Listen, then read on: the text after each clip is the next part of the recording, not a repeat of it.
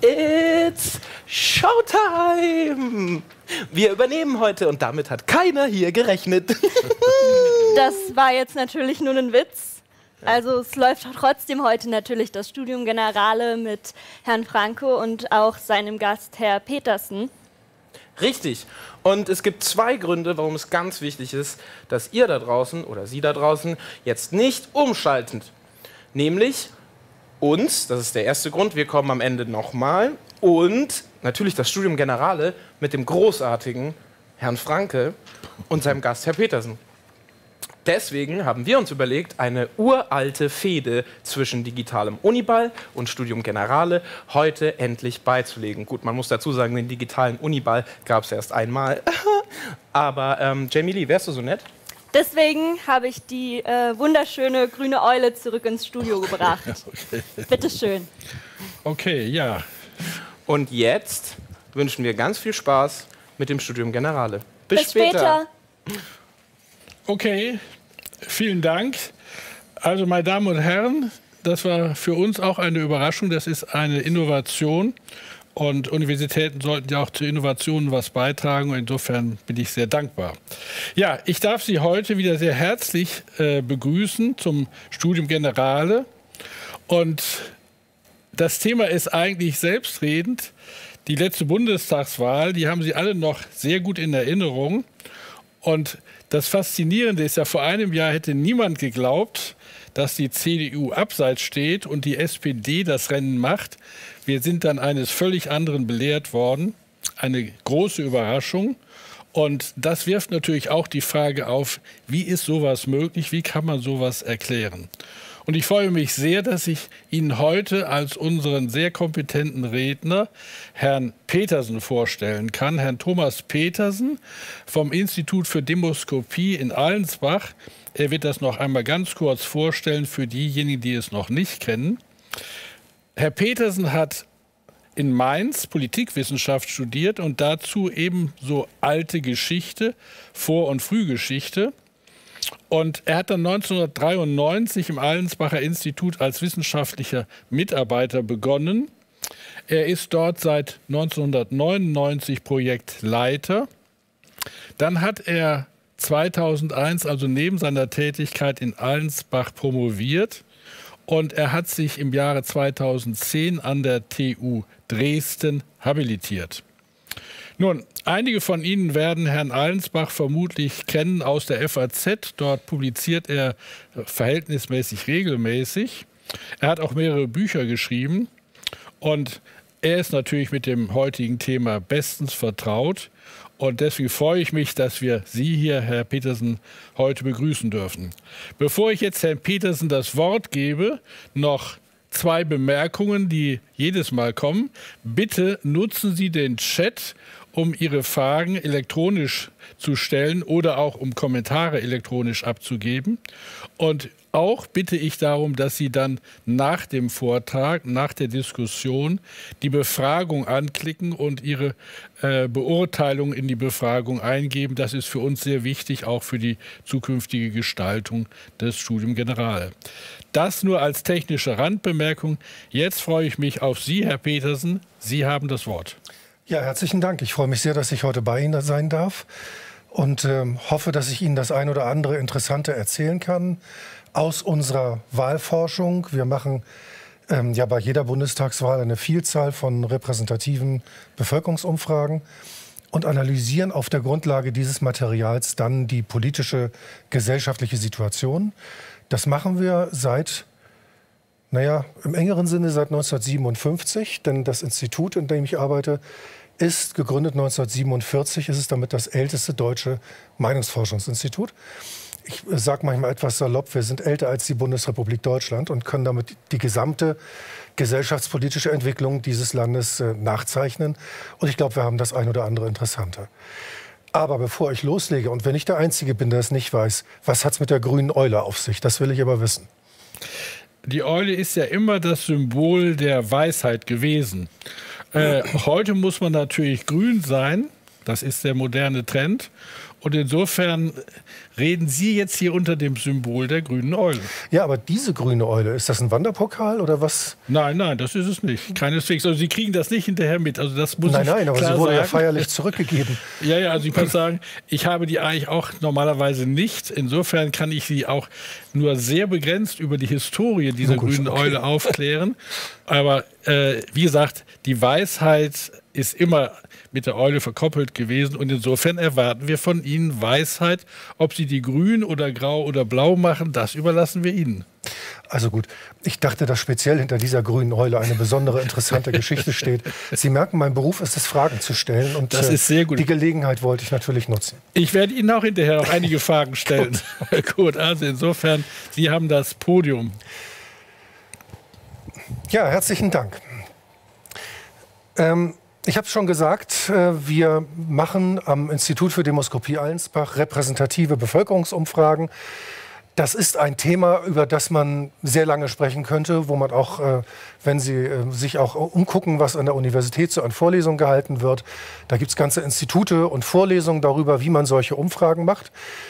Denn das, was wir da tun, ist eine Methode, die auch für die Wissenschaft von erheblicher Bedeutung ist. Sie ist die wichtigste Informationsquelle der sogenannten empirischen Sozialwissenschaften. Was heißt empirisch? Es heißt messend, beobachtend. Ähm, also man macht sich nicht nur mehr oder weniger kluge Gedanken über die Gesellschaft und entwickelt Theorien darüber, sondern man versucht, diese auch zu überprüfen. Und da gibt es eine ganze Reihe von Wissenschaften. Die ähm, Soziologie ist sozusagen die Mutter dieser Wissenschaften, aber auch die Politikwissenschaft, die Kommunikationswissenschaft, das ist mein Gebiet, äh, aus dem ich ursprünglich stamme, aber auch Teile der Psychologie. Das sind Felder, die es ohne diese Methode der repräsentativen Befragung nicht gäbe. Und äh, das ist jetzt keine Methodenvorlesung heute, deswegen werde ich Sie nicht mit diesen Details nerven. Ähm, wäre vielleicht mal bei einer anderen Gelegenheit was. Aber vielleicht ähm, nur das äh, zum Hinterkopf. Es ist eine, ein Verfahren, das für Außenstehende in aller Regel nicht wirklich einleuchtet, weil ihm statistische Gesetzmäßigkeiten zugrunde liegen, die so ein bisschen gegen die menschliche Intuition sind. Wir befragen ähm, einige hundert, einige tausend Personen. Typischerweise sind es tausend pro Monat. Und die werden jedes Mal neu ausgewählt nach bestimmten Kriterien. Ähm, äh, ganz grob gesagt, man versucht dem Zufall auf die Sprünge zu helfen. Man, man würfelt gleichsam aus, wen man dort befragt. Das klingt wesentlich einfacher, als es in der Praxis ist. Jedenfalls, man sucht Leute aus, relativ wenige. Aber man stellt sicher, dass diese wenigen Leute, die man dort aussucht, sprechen können für die vielen, die wir nicht befragen können. Und äh, darum auch der Begriff der repräsentativen Umfrage. Also die 1000 Leute, die ich frage, die sind so zusammengesetzt wie die Gesellschaft als Ganzes. Da gibt es so viele Junge, so viele Alte, so viele Norddeutsche, so viele Süddeutsche, so viele Männer, Frauen, Reiche und Arme, wie es sie auch in der Gesamtbevölkerung gibt. Das sicherzustellen ist, wie gesagt, methodisch nicht ganz anspruchslos, aber es ist machbar. Und wenn ich das tue und wenn ich das sicherstelle, dann kann ich mit hoher und berechenbarer Wahrscheinlichkeit von dem Verhalten dieser relativ wenigen Menschen auf die vielen schließen, die ich nicht befragen kann. Denn ich will ja nicht wissen, was meine tausend Leute für eine Meinung haben. Ich will am Ende wissen, was die Gesellschaft als Ganzes für eine Meinung hat. Und ähm, dieses Verfahren ist ähm, nach Vorläufern in früheren Jahrhunderten in den ersten Jahrzehnten des 20. Jahrhunderts entwickelt worden. In den 30er Jahren in Amerika hat es seinen Durchbruch erhalten. Äh, seit den 40er Jahren gibt es das auch in Deutschland. Und äh, seitdem sind wir in der Lage, mit dieser Methode die Gesellschaft zu analysieren. Neben der wissenschaftlichen Bedeutung gibt es das große, breite Feld der privatwirtschaftlichen Umfrageforschung, auf dem ich auch äh, ja tätig bin. Wir machen also gesellschaftspolitische Untersuchungen, sehr viel sogar an unserem Institut. Aber es gibt auch das große, breite Feld beispielsweise der Marktforschung oder der Mediennutzungsforschung. Da wird diese Methode auch eingesetzt. In viel mehr Feldern, als viele glauben. In der Öffentlichkeit bekannt ist die Methode der Umfrageforschung eben in aller Regel auch nicht zuletzt für die Wahlforschung. Und äh, da gibt es eine ganze Reihe von Dingen, die ich erlebe, wenn ich äh, ähm, Umfrageergebnisse vortrage. Ähm, Beispielsweise gibt es immer zwei Sorten von Reaktionen. Die eine Reaktion lautet, das ist doch klar, da brauche ich doch keine Umfrage für. Die Frage ist nur, warum ist das so? Und das ist ein sicheres Zeichen dafür, dass man das Vorurteil des, äh, der betreffenden Person bestätigt hat. Eben hat er es zwar noch nicht gewusst, aber jetzt kommt, bekommt er eine Zahl, die seine Meinung bestätigt und er glaubt, sie sei, sei sinnlos, weil er hat das ja schon vorher gewusst. Oder aber die Reaktion lautet, das kann nicht sein. Und das weiß ich genau, denn ich kenne mehrere Leute, Klammer auf, neben mir noch einen, Klammer zu, die andere Meinungen haben. Also da hat man das Vorurteil nicht bestätigt, aber Sie sehen daran schon, was der Zweck der Veranstaltung ist. Sie können mit Hilfe der Umfrageforschung die Gesellschaft beobachten. Äh, Sie können erfahren, was Menschen denken und fühlen, unabhängig von dritten Quellen. Sie sind nicht auf Journalisten angewiesen, Sie sind nicht auf Historiker angewiesen, Sie sind nicht auf Chronisten jedweder Art angewiesen, auf mehr oder weniger kluge Interpretatoren, sondern die Bevölkerung selbst spricht mit zu einem und manchmal kommen dort Dinge raus, mit denen man nicht gerechnet hat. Paul Valéry hat mal gesagt, ähm, wenn wir überrascht sind, stehen wir der Wirklichkeit gegenüber. Und das ist das Hübsche. Die Umfrageforschung zwingt uns immer wieder aus unseren Vorurteilen heraus. Sie überrascht uns, weil wir Dinge herausbekommen, mit denen wir so nicht gerechnet haben. Jetzt bei unserem Thema äh, speziell gibt es noch ein weiteres Vorurteil und das besagt, dass die Umfragen immer daneben liegen. Das war äh, schon immer falsch. Aber es ist sozusagen so fest verankert, dass das immer als äh, Selbstverständlichkeit äh, geäußert wird. Auch in jüngerer Zeit höre ich immer, dass die Wahl Donald Trumps in Amerika vor vier Jahren, fünf Jahren ja doch ein treffliches Beispiel sei. Aber das ist vielleicht äh, ein interessanter Job. Gucken Sie mal nach, ja, wie da, was die Umfragen damals sagten. Und dann werden Sie feststellen, die Umfragen lagen nicht verkehrt. Die Interpretation der Journalisten waren falsch. Und auch bei der jetzigen Bundestagswahl ist es äh, so, dass man in aller Bescheidenheit sagen kann, dass das doch einigermaßen stimmt, was wir da rausbekommen haben. Ähm, Sie sehen hier eine Folie mit der Aufschrift Wahlprognose und Wahlergebnis 2021. Was Sie zunächst mal sehen, ist die Prognose, wobei ich zum Wort Prognose noch ein Wort sagen muss. Denn oft hört man Land auf, Land ab äh, zu allen möglichen Umfragen, sie seien eine Prognose. Dazu ist zu sagen, dass die allermeisten Umfragen keine Prognosen sind. Eine Prognose ist der Versuch, etwas Zukünftiges vorherzusagen. Und normalerweise weisen wir diesen Versuch weit von uns. Ist ein häufiges Missverständnis, dass Umfrageforscher irgendwie mit der Glaskugel da sitzen und äh, dann irgendwie, äh, ich erlebe das auch oft, dass ich gefragt werde, ja, äh, erzählen Sie mir was über die Zukunft der Medienwelt. Kann ich sagen, weiß ich doch nicht. Ich kann Ihnen was über die Gegenwart der Medienwelt sagen und über die Vergangenheit der Medienwelt. Und daraus kann ich mit einiger Vorsicht äh, Vermutungen ableiten, wie es sich weiterentwickelt. Aber ich bin nicht die, nehmen wir mal ein äh, derzeit sehr modisches Thema, ich bin nicht das Klimamodell, ich bin das Thermometer. Ich messe, wie die Bevölkerung sich verhält. Allerdings haben wir in der Umfrageforschung ein Problem. Das Problem ist, dass wir Dinge messen, die man auf andere Art und Weise nicht messen kann. Sonst gäbe es die Methode ja nicht. Wir müssten diese Fragerei nicht veranstalten wenn man auf andere Art und Weise möglicherweise leichter herausbekäme, was wir herausbekommen. Das heißt aber auch, das ist natürlich erstmal sozusagen der Grund, warum es diese Methode überhaupt gibt. Aber zweitens ist damit ein Problem verbunden. Und das Problem besteht darin, dass Sie ganz selten Gelegenheiten haben zu prüfen, ob die Methode funktioniert. Ja, in den Lehrbüchern können Sie wunderbar beschreiben, warum das eigentlich funktionieren müsste. Aber in Lehrbüchern steht leider Gottes, gerade wenn es die Umfrageforschung betrifft, auch viel, was in der Praxis nicht funktioniert. Weil leider Gottes auch viele Leute, die diese Lehrbücher geschrieben haben, selbst nie Umfragen gemacht haben oder jedenfalls nie von A bis Z. Und äh, deswegen steht auch manches Falsche in den Lehrbüchern.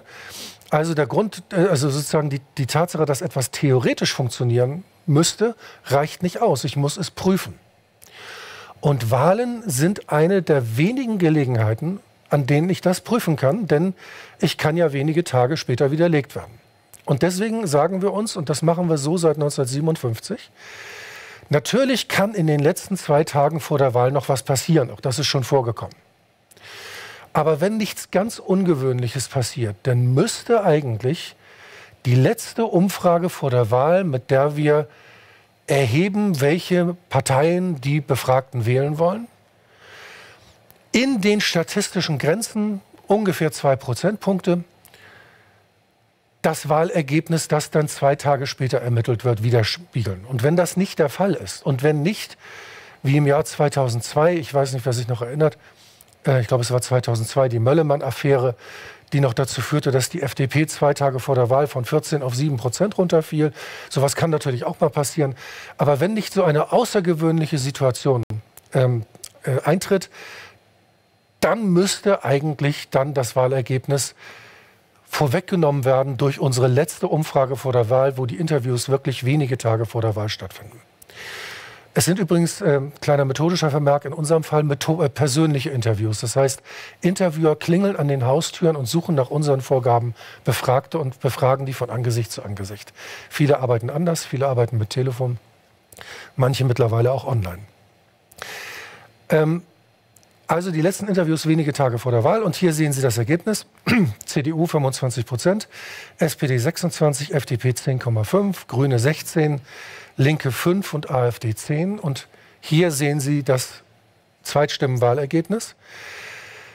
Ähm, wir haben eine durchschnittliche Abweichung eines Parteiwertes äh, zu dem tatsächlichen Ergebnis von 0,7 Prozent. Die größte Abweichung bei den Grünen 1,2 Prozentpunkte. Also das zeigt Ihnen, was die Methode leistet. Das ist jetzt allerdings ein ungewöhnlich guter Fall. Wir hatten auch schon etwas unerfreulichere Abweichungen. Aber ich könnte Ihnen jetzt, habe ich jetzt heute nicht mitgebracht, zeigen, ja, von 1957 bis heute. Und Sie werden sehen, dass das mehr oder weniger bei jeder Wahl der Fall ist. Das heißt, wenn man weiß, was die Methode kann, wenn man weiß, ja, sozusagen, wo ihre Möglichkeiten und Grenzen sind, kann man ziemlich genau das Verhalten der Bevölkerung abbilden. Jetzt kann man sehr viel über Fragebogenmethoden sprechen und über äh, methodische Schwierigkeiten, die sich im Einzelfall ergeben könnten. Aber wie gesagt, das ist ja keine Methodenvorlesung. Also wir haben hier dieses Wahlergebnis und äh, das kennen Sie natürlich alle oder äh, jedenfalls in den Größenordnungen. Und ich weiß nicht, wer jetzt von Ihnen äh, davon überrascht gewesen ist. Wir waren es jetzt naturgemäß nicht, weil wir das ja laufend verfolgt haben.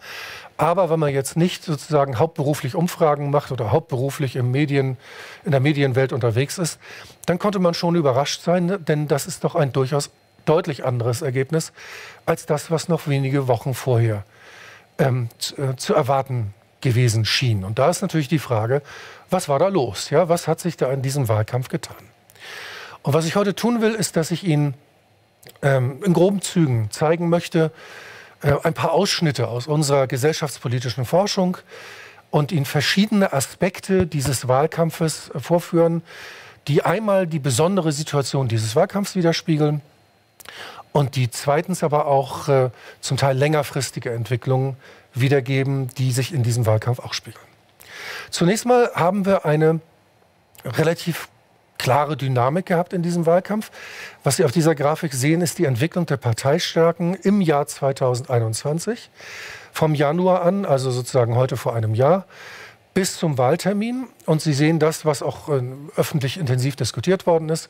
Wir haben eigentlich drei Bewegungen, die Anfang des Jahres na, ich, beinahe hätte ich gesagt, so noch nicht abzusehen waren. Das stimmt nicht ganz. Eine dieser Bewegungen habe ich vorhergesehen. Und zwar nicht, weil ich ein toller Prophet wäre, sondern aus Erfahrung heraus. Aber es ist in der Tat einiges an Dynamik drin gewesen. Wir sehen einmal den sehr deutlichen Rückgang der Unionsparteien, die Anfang des Jahres noch bei deutlich über 30 Prozent waren.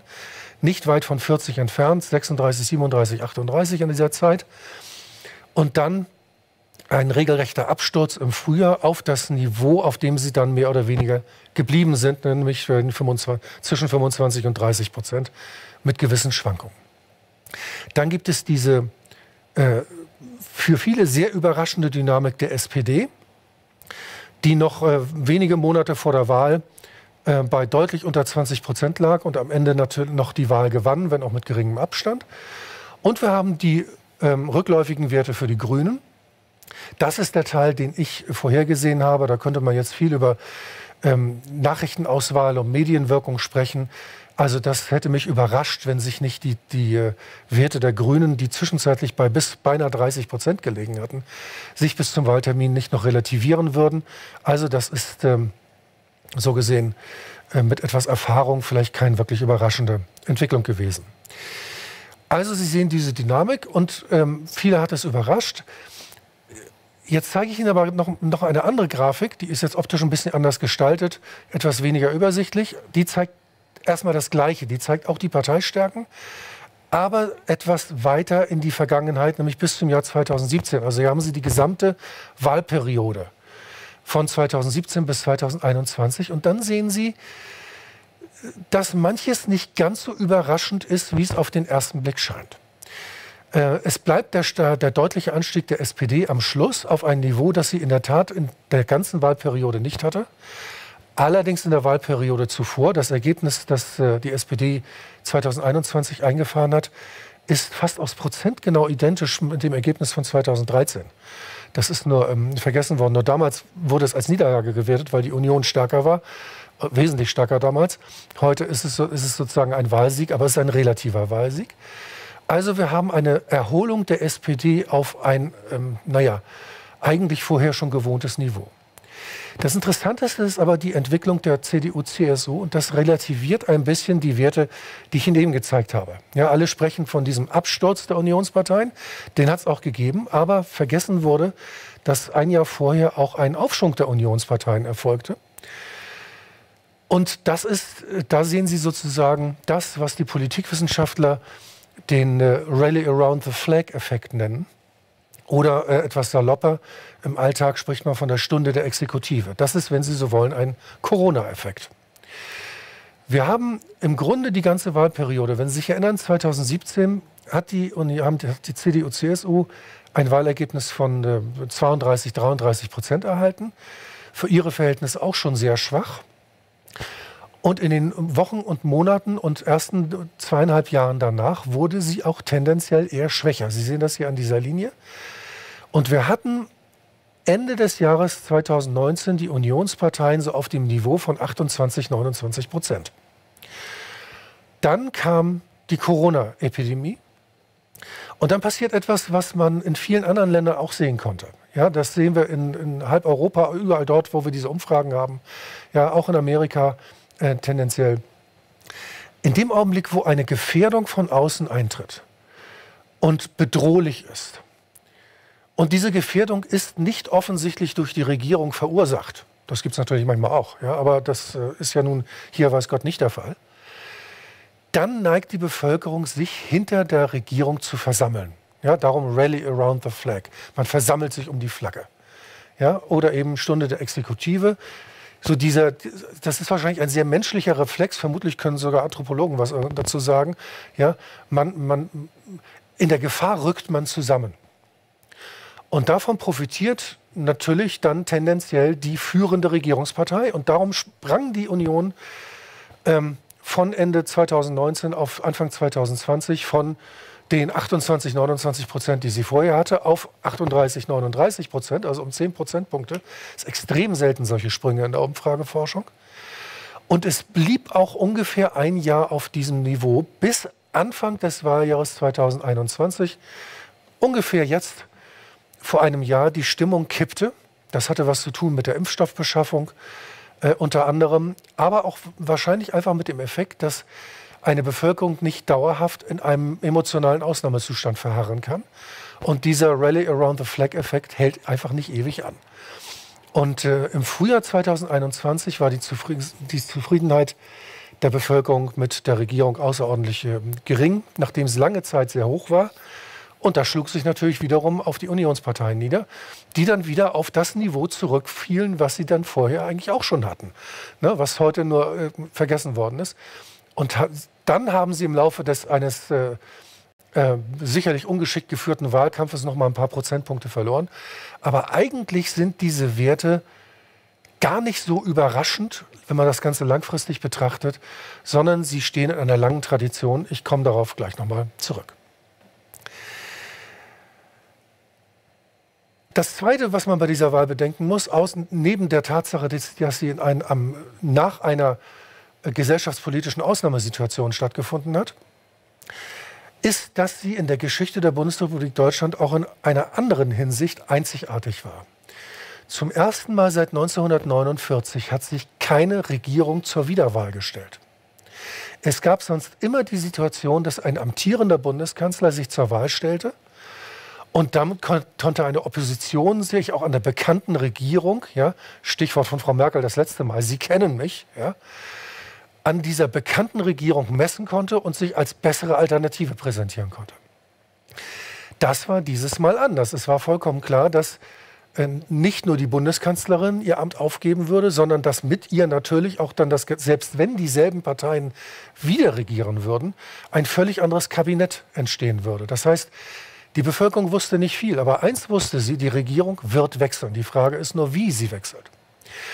Und das führte aber auch dazu, dass nicht Bekanntes gegen vielleicht weniger Bekanntes antrat, sondern dass alle sozusagen ein bisschen auf Reset gesetzt waren. Alle sozusagen auf Null, was natürlich für die Unionsparteien eher ein Nachteil war. Ähm, weil sie sozusagen äh, keinerlei Amtsbonus jedweder Art irgendwie ausspielen konnte, wenn es dann einen gegeben hätte. Das ist dann noch die zweite Frage. Aber für die Opposition umgekehrt bedeutete das natürlich potenziell eine Chance. Also eine ganz neue Situation, was auch für uns als Umfrageforscher nicht ganz unproblematisch war. Denn es bedeutete, dass wir unsere Erfahrungswerte nicht verwenden konnten. Das ist einerseits ganz gut, weil Erfahrungswerte durchaus gefährlich sind. Ich rede auch von der Erfahrungsfalle. Man neigt dazu, von der Vergangenheit auf die Zukunft zu schließen. Ich nenne das immer etwas salopp den Sportreporter-Fehler.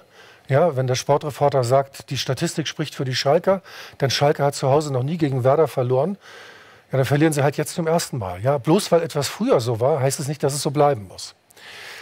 Dennoch guckt man natürlich auf Erfahrungswerte und neigt davon, neigt, daraus, äh, neigt dazu, daraus auf Zukunft zu schließen.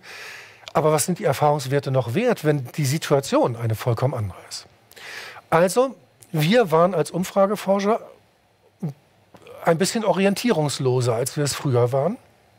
Ich hätte mir auch drei Wochen vor der Wahl noch nicht zutrauen können, zu sagen, wer die Wahl gewinnt, ähm, was normalerweise nicht der Fall ist. Und damit waren wir nicht allein, denn die Bevölkerung war auch orientierungslos, aber auch durchaus interessiert. Hier sehen Sie das Ergebnis der Frage. Ähm, fanden Sie diesen Wahlkampf interessanter als die letzten Wahlkämpfe äh, oder weniger interessant oder gibt es keinen Unterschied? Und dann sagte doch eine deutliche relative Mehrheit der Bevölkerung, ich, fand's diesmal, ich finde es diesmal interessanter. Und wenn man fragt, fast eigentlich noch aufschlussreicher, haben Sie den Eindruck, das ist jetzt immer jeweils kurz vor dem Wahltermin, einen Monat vor der Wahl ungefähr ermittelt, haben Sie den Eindruck, dass die kommende Bundestagswahl die meisten Ihrer Freunde und Bekannten mehr interessiert als frühere Bundestagswahlen oder weniger? Oder gibt es da keinen großen Unterschied? Warum so komisch um die Ecke gefragt? Ähm, Ob es mich interessiert, ist eine Sache und da, da spielt auch soziale Normen eine Rolle. Aber Menschen sind sehr gut, ihr Umfeld zu beobachten. Und wenn die sagen, die Leute sind irgendwie interessierter, dann ist das an der Stelle oft eine aufschlussreiche Information. Und Sie sehen hier das Ergebnis für die letzten drei Wahlen und Sie sehen, dass der Anteil derjenigen, die dieses Mal sagten, ich bin interessiert, äh, deutlich größer war als 2013 und 2017. Äh, nein, nicht ich bin interessiert, sondern die anderen sind interessiert, größer war als 2013 und 2017. Dazu kommt noch ein anderer Effekt, der Ihnen aber jetzt auch schon zeigt, dass die Sache noch ein bisschen komplizierter ist und dass noch mehr dahinter steckt. Das ist eine Frage, die allen gestellt wurde, wiederum ungefähr einen Monat vor der Wahl jeweils. Die sagten, sie wollten bei der kommenden Bundestagswahl wählen gehen. Nur diejenigen werden befragt. Und da kommt die Nachfrage, und wissen Sie schon genau, für welche Partei Sie bei der Bundestagswahl stimmen werden? Oder überlegen Sie noch? Und Sie sehen hier den Trend für diese Frage bis 1980 zurück. Und Sie sehen zweierlei. Sie sehen erstens, dass mit geringen kurzfristigen Schwankungen mal abgesehen, der Anteil derjenigen, die sagten, ich weiß schon, wen ich wählen werde, wohlgemerkt einen Monat vor der Wahl, ziemlich kontinuierlich, langsam aber sicher zurückgegangen ist, während der Anteil derer, die sagen, ich überlege noch, gewachsen ist. Er ist aber interessanterweise im Jahr 2021 nicht größer gewesen als im Jahr 2017. Also wir haben erstens, was auch oft berichtet worden ist, ein bis kurz vor der Wahl hohen Anteil von Unentschiedenen gehabt.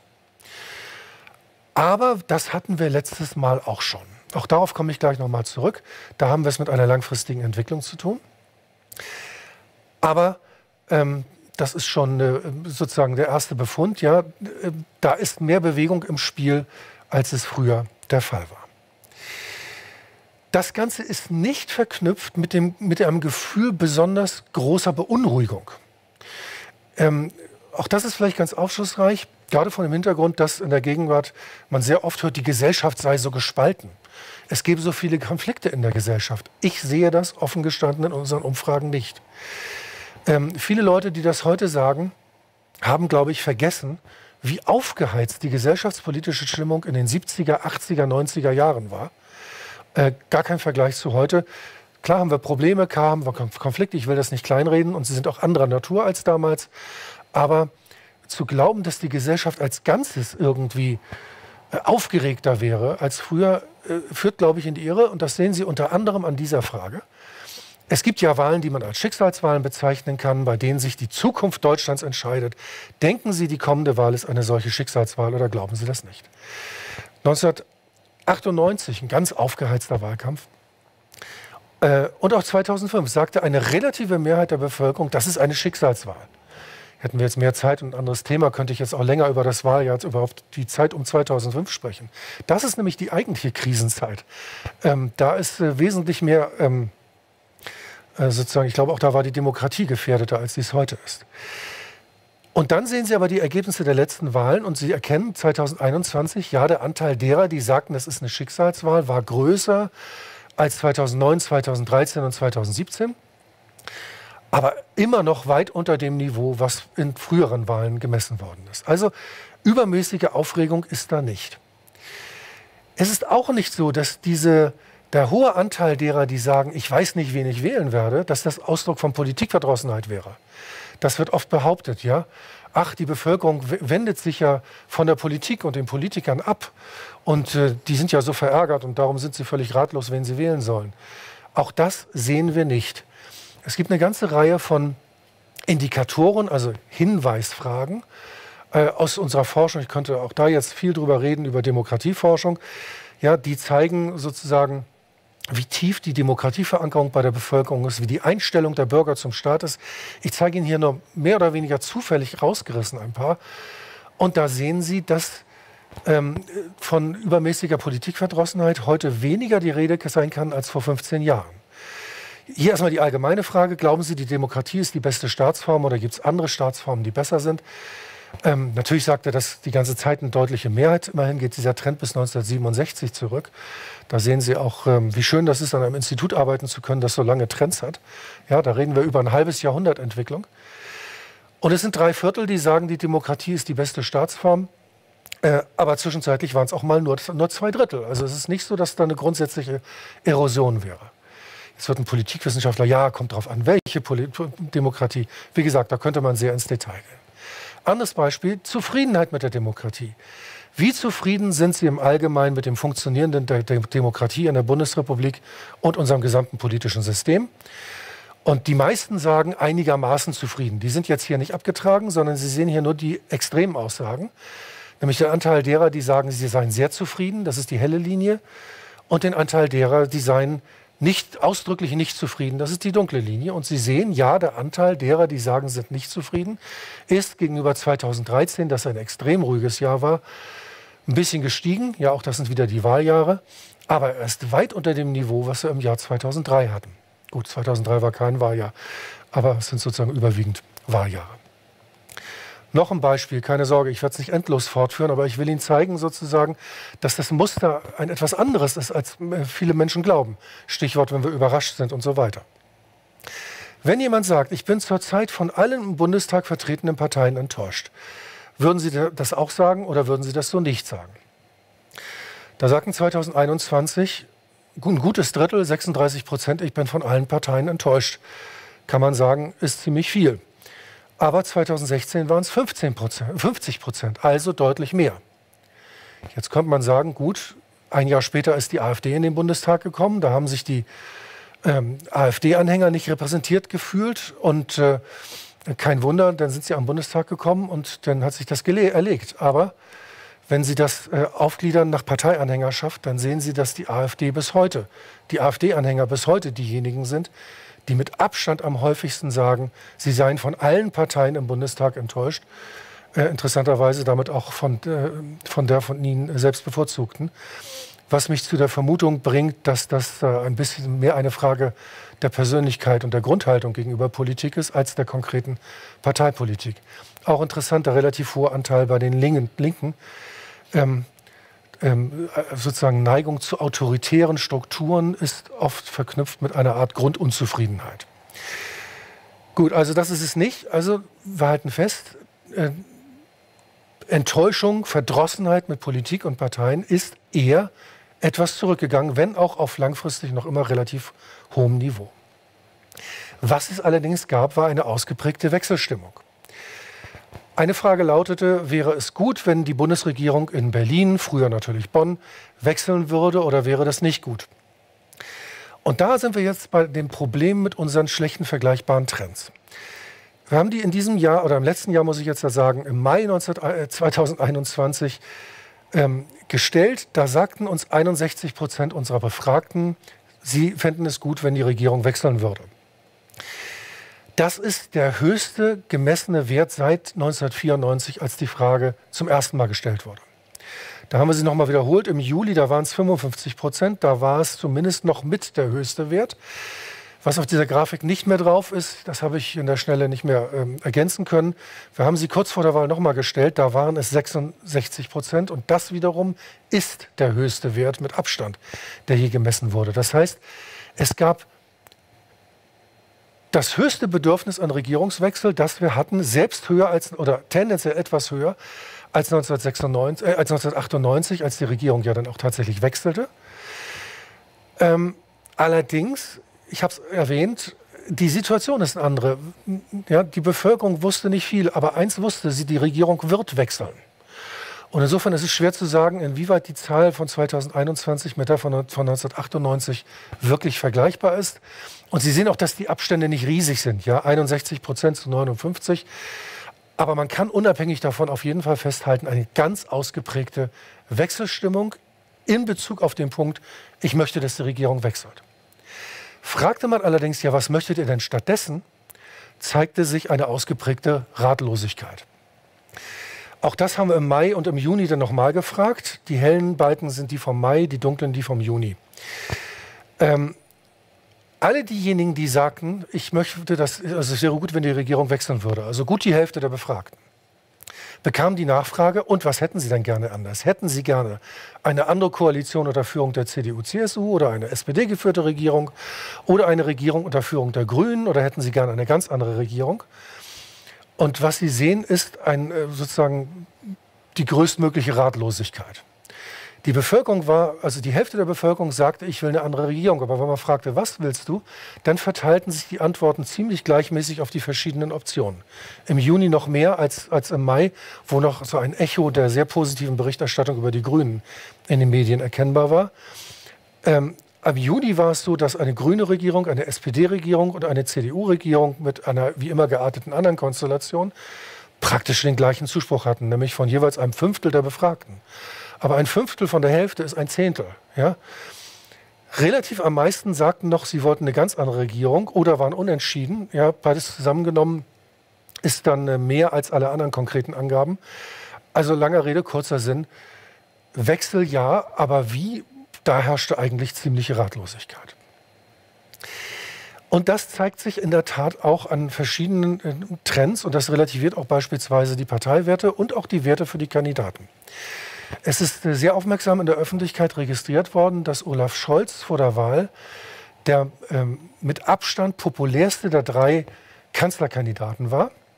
Das war er auch.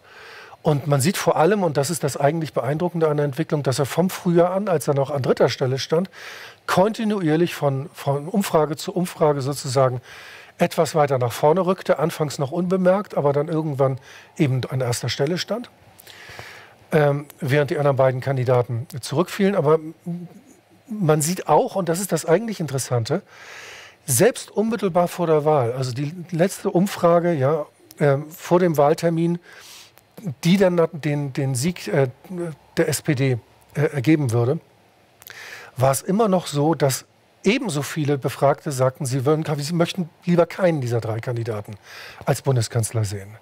Also etwas salopp gesagt, demoskopisch betrachtet war Olaf Scholz gleichsam der Einäugige unter den Blinden. Es ist nicht so, dass er irgendwie enorm populär gewesen wäre. Er war nur populärer als die beiden anderen. Aber das sind letztlich immer noch relativ niedrige Werte. Übrigens für die Regierung eine sehr gute Situation, denn eine Regierung, die gewählt wird mit sehr großen Erwartungen von der Bevölkerung, ist auch eine Regierung, die leicht enttäuschen kann. Das hat Schröder 1998 erlebt. Der klassische Fall ist Obama, der ist praktisch als Messias ins Amt gewählt worden, ähm, konnte dann im Grunde nur von dem Niveau nur noch runterfallen. Das ist bei der jetzigen Regierung nicht der Fall. So, auch mit Blick auf die Uhr, ich will Sie nicht zu lange nerven.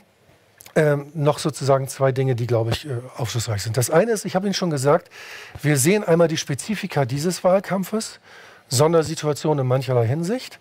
Aber wir sehen auch langfristige Entwicklungen. Denken Sie an den Anteil der Unentschieden, der ja schon seit Jahrzehnten wächst. Dahinter verbirgt sich eine Veränderung im Parteiensystem, die schon seit Jahrzehnten andauert und von der ich annehme, dass sie sich in absehbarer Zukunft auch fortsetzen wird. Und die steht wiederum für eine veränderte Einstellung der Bürger gegenüber Staat und Politik, und zwar in einer Art und Weise, die ich persönlich als begrüßenswert empfinde, weil sie zeigt, dass die Bürger in gewisser Hinsicht selbstbewusster werden. Ein Hinweis darauf ist beispielsweise die Zahl der Parteien, die an den Bundestagswahlen teilnehmen. Das ist übrigens gar nicht so leicht rauszufinden, da habe ich ziemlich aufwendig recherchieren müssen. Denn äh, die, hier ist jetzt abgetragen die Zahl der Parteien, die mit Landeslisten an Bundestagswahlen teilnehmen. Die Zahl der zugelassenen Parteien ist noch mal größer, aber manche stellen auch nur Einzelkandidaten auf oder nehmen dann doch nicht teil. Aber das sind die Werte. Ähm, ich hoffe, sie stimmen, zumindest stimmen die Größenordnung. Und Sie sehen, dass das seit den 70er Jahren eigentlich kontinuierlich zugenommen hat. Es sind mehr und mehr und mehr Parteien, die an den Wahlen teilnehmen. Und ähm, wir wissen ja auch, dass sich die Zahl der Fraktionen verdoppelt hat seit jener Zeit. Es ist auch der Anteil derjenigen gewachsen, die sagen, sie wechseln öfter mal ab. Die Frage lautet, hier haben Sie bei, im Allgemeinen bei Bundestagswahlen immer die gleiche Partei gewählt oder haben Sie manchmal abgewechselt? Dazu muss man allerdings sagen, dass der Anteil derjenigen, die, wechsel, die wechseln, nicht so gestiegen ist wie der Anteil derer, die sagen, sie hätten gewechselt. Da gibt es bestimmte Analysemethoden, mit denen man das vergleichen kann. Das habe ich nicht ganz bis an die Gegenwart heran, aber es ist zum Teil auch eine Mode zu sagen, ach, ich, die habe ich letztes Mal gewählt, nie wieder, die sind ja alle blöd, jetzt wähle ich die anderen. Also ähm, das überzeichnet die tatsächliche Entwicklung wahrscheinlich etwas hier, die Grafik. Aber die Tendenz ist schon deutlich. Die Bereitschaft, mal die eine, mal die andere Partei wählen, auch über die Parteilager hinweg, ist tendenziell gestiegen und die Auswahl ist auch größer geworden. Und unter diesen Bedingung ist es kein Wunder, dass der Anteil der Volksparteien am Zweitstimmenergebnis nicht erst seit zwei, drei Wahlen, sondern seit Jahrzehnten tendenziell rückläufig ist. Der Höhepunkt war, ich glaube, 1976 erreicht. Äh, nee, oder 72 schon. Und seitdem anfangs schleichend und dann aber doch mit etwas verstärkter Geschwindigkeit und abgesehen von kurzfristigen Schwankungen hier 2013 war in dieser Hinsicht ein Ausreißer.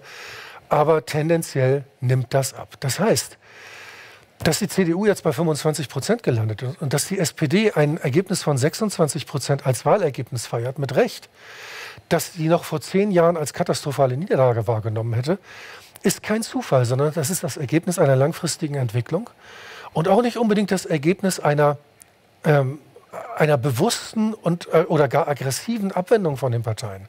Nicht so, dass die Leute mehr gegen die CDU oder mehr gegen die SPD hätten als früher. Es ist nur nicht mehr so selbstverständlich, sie zu wählen. Das sehen Sie an dieser etwas komplizierten Grafik. Ähm, dahinter stecken zwei Fragen. Und ohne dass ich jetzt groß ins Detail gehe, mit der einen Frage wird gefragt, welche Partei ist denn die am sympathischsten, welches am zweitsympathischen, welches am drittsympathischen und so weiter. Da werden also die Parteien durchdekliniert und die Befragten sortieren die nach Sympathie. Und wenn das geschehen ist, kommt eine Nachfrage und die Nachfrage lautet, könnten Sie sich vorstellen, bei der nächsten Wahl auch die an zweite Stelle gelegte Partei zu wählen? Und mit diesen beiden Partei, äh, Fragen haben Sie können Sie drei Härtegrade der Parteianhängerschaft identifizieren.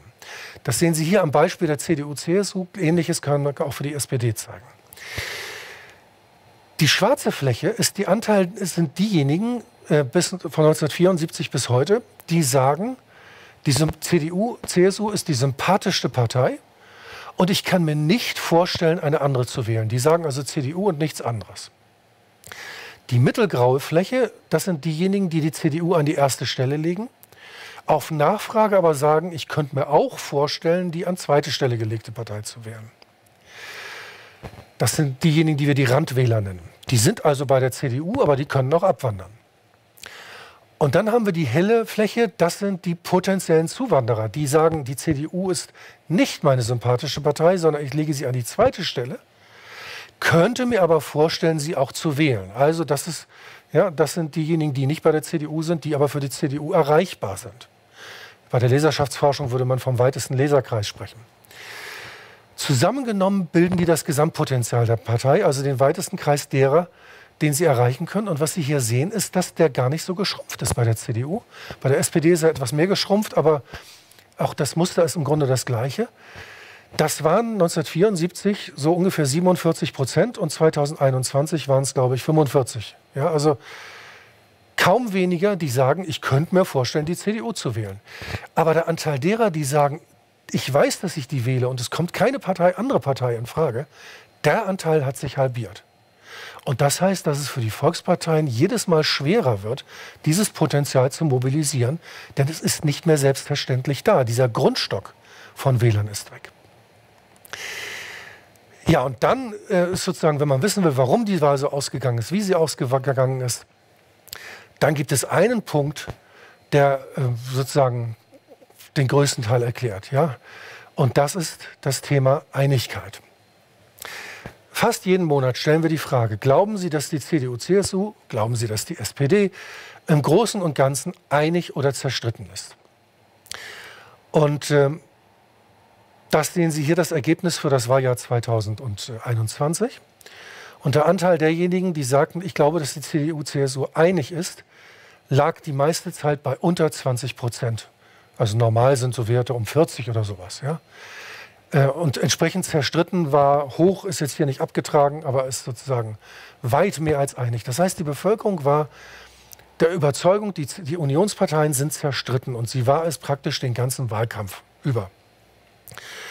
Und wir alle haben vor Augen, welche Dinge da eine Rolle gespielt haben. Ja, die, die Wahlen des Parteivorsitzenden, dann die ähm, Auseinandersetzung zwischen Laschet und, und Söder. Also da ähm, gibt gute Gründe, warum äh, man den Eindruck gewinnen konnte, die Unionsparteien waren zerstritten. Warum ist das für die Wahl eine besonders aufschlussreiche Information? Weil es in der Geschichte der Sozialwissenschaften oder der Wahlforschung wahrscheinlich keinen gefestigteren, solideren Befund gibt, als den, dass wenn eine Volkspartei zerstritten ist, ihr die Wähler davonlaufen. Und Sie sehen hier als dunkle Linie den Anteil der Zweitstimmenwahlabsicht. Der schwankt natürlich weniger als der Anteil derer, die sagen, man ist zerstritten. Aber man kann das mathematisch ausdrücken mit einer sogenannten Korrelation. Das ist ein Maß, das angibt, wie sehr diese Linien parallel verlaufen, mathematisch betrachtet. Und so eine Korrelation kann von minus 1 bis plus 1 schwanken. Minus 1 heißt, sie sind total gegenläufig. Ja, wenn die eine steigt, sinkt die andere. Plus 1 bedeutet, sie liegen praktisch aufeinander und 0 würde bedeuten, sie haben nichts miteinander zu tun. Und man kriegt hier eine, einen Wert von 0,85. Viel höher geht es in den Sozialwissenschaften nicht. Das ist ein, also eine außerordentlich hohe Übereinstimmung. Das heißt, in dem Augenblick, wo eine Partei als zerstritten gilt, verliert sie Wähler.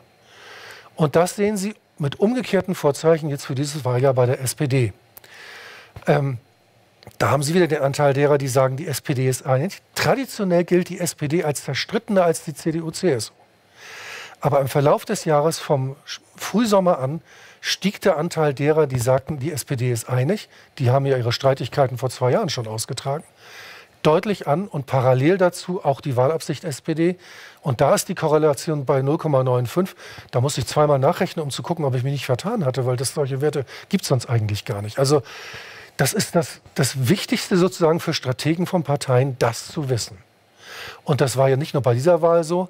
Ja, also da haben sie das Ganze für die Jahre 2013 bis 2020. Ich erinnere mich, dass ich das vor der Konrad-Adenauer-Stiftung Anfang 2017 vorgetragen habe, mit den damals aktuellen Zahlen. Dann guckten die mich mit großen Augen an und fragten mich, weiß das auch der Seehofer?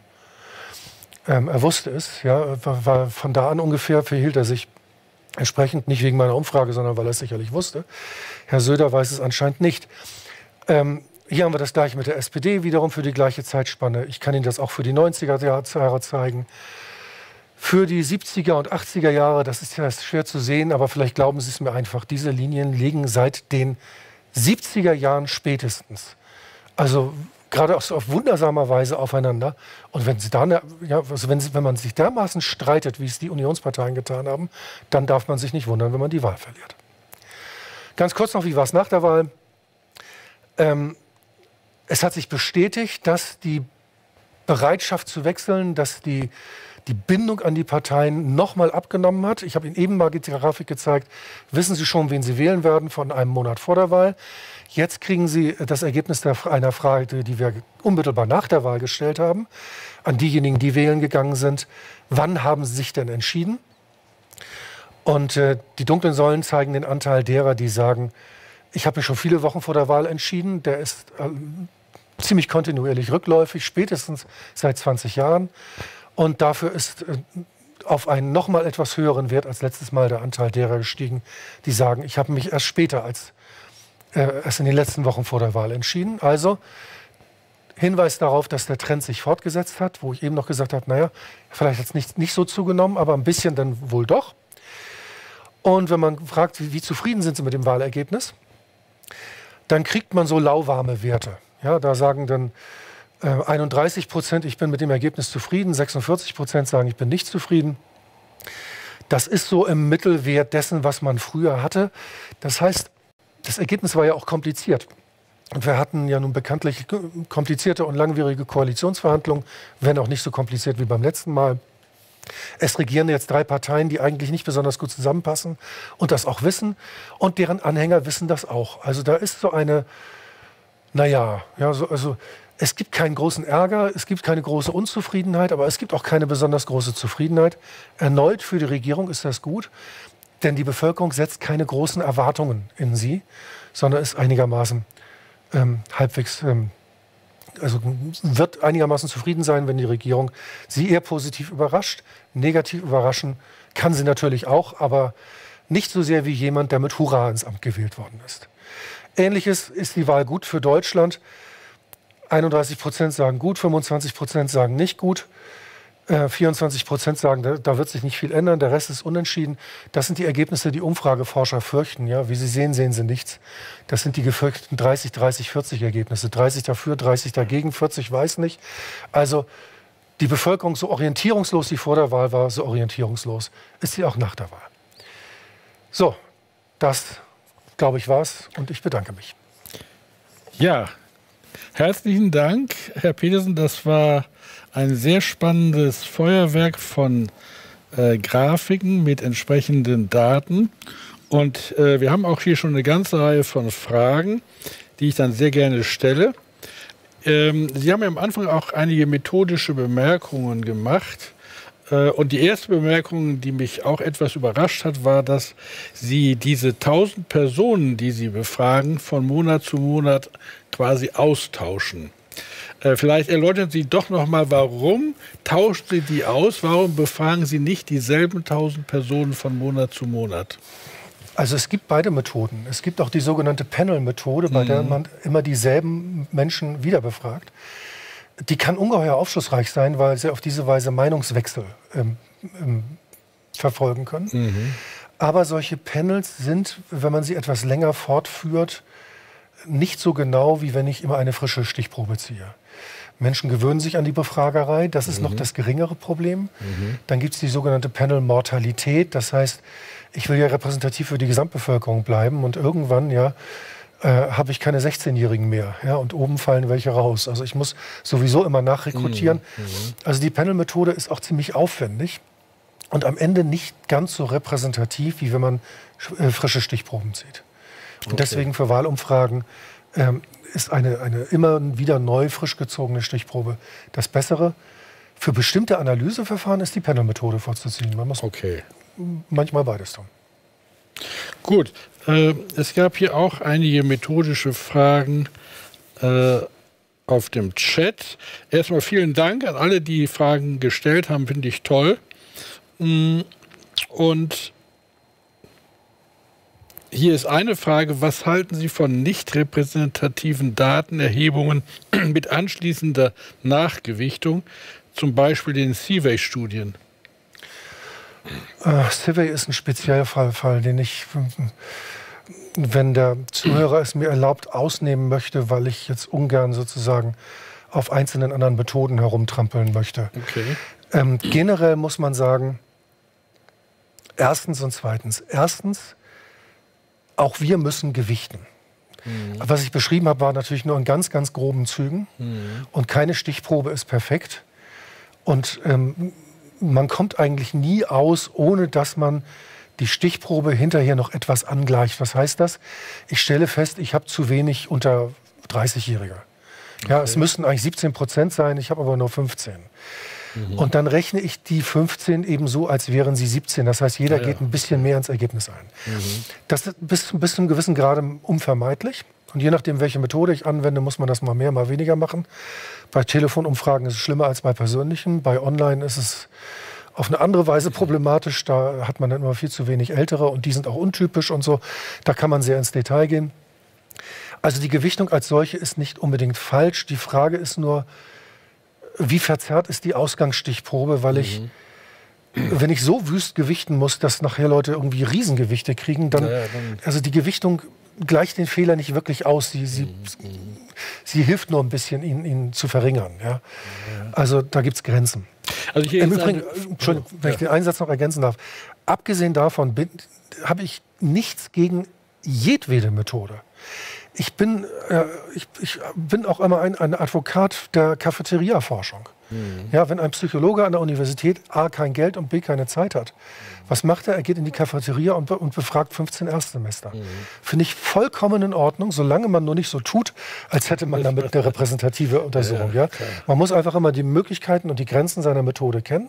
Ich finde, man kann fast alles machen, man muss es nur dann sozusagen beschreiben und äh, dann entsprechend interpretieren. Also hier ist eine Frage genau auch äh, in dem Zusammenhang.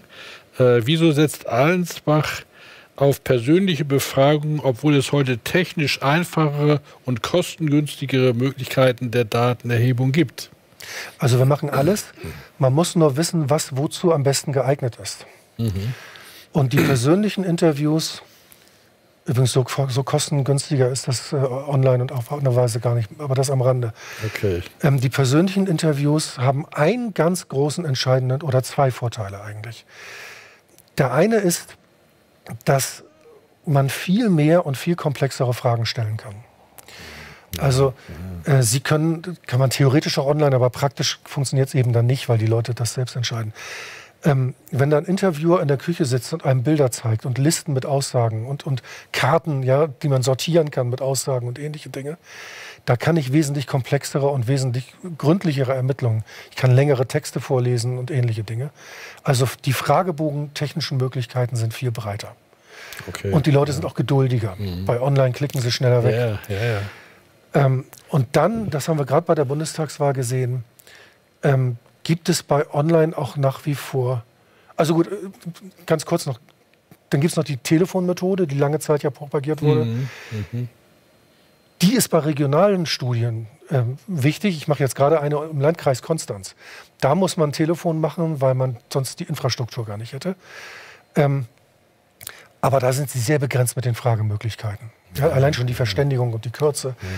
Ähm, online, da gibt es auch immer noch Stichprobenprobleme. Da habe ich ein großes Selbstselektionsproblem. Das heißt, Ah ja, okay. ich schreibe Leute an ähm, und die entscheiden, und natürlich entscheidet das, wir können ja niemanden zwingen, ja. Aber sozusagen die Bereitschaft teilzunehmen, das ist ein anderer Menschentyp als, als derjenige, der das nicht tut. Aber da die, die, direkt die Frage dazu. Wenn Sie jetzt die Leute persönlich befragen, die haben Sie ja per Zufall ausgewählt. Äh, können Sie dann durch Ihre persönliche Ansprache sicherstellen, dass diese Leute auch tatsächlich Ihnen Antworten geben, die einigermaßen deren Meinung widerspiegeln? Oder haben Sie dann auch darunter Leute, die sagen, naja, jetzt will da jemand was von mir wissen, ich will es eigentlich nicht sagen, und dass sie dann irgendwie abgewimmelt werden? Da, wie viel Zeit haben Sie? Darüber könnte ich jetzt viel sagen. Natürlich wird man abgewimmelt, wenn die Leute was nicht sagen wollen. Und ja. manchmal sind es auch bestimmte Leute, die einen abwimmeln. Ja. Äh, kann auch bei Wahlumfragen übrigens ein Problem sein, ja, wenn sich die Wähler einer bestimmten Partei schämen, das zuzugeben. Ja. Die nehmen dann weniger an Umfragen teil. Aber das kann man auch messen. Also da gibt es äh, Fragetechniken, mit denen man da wir können mit den richtigen Techniken zum Teil bis ins Unbewusste der Befragten vordringen. Manchmal ah, okay. wissen wir besser, was sie denken und fühlen, als sie selbst. Okay. Eine Frage, die hier auch anknüpft, ist, ähm, wenn Sie jetzt deutliche Diskrepanzen sehen zwischen einer Umfrage kurz vor der Wahl und dem Wahlergebnis selbst, ist das auch ein Indiz dafür, dass möglicherweise die Stichprobe nicht repräsentativ war? Das kann sein. Äh, also dann hätten wir ein Problem. Mhm. Und dann müssen wir gucken, was los war. Ne? Das ist, mhm.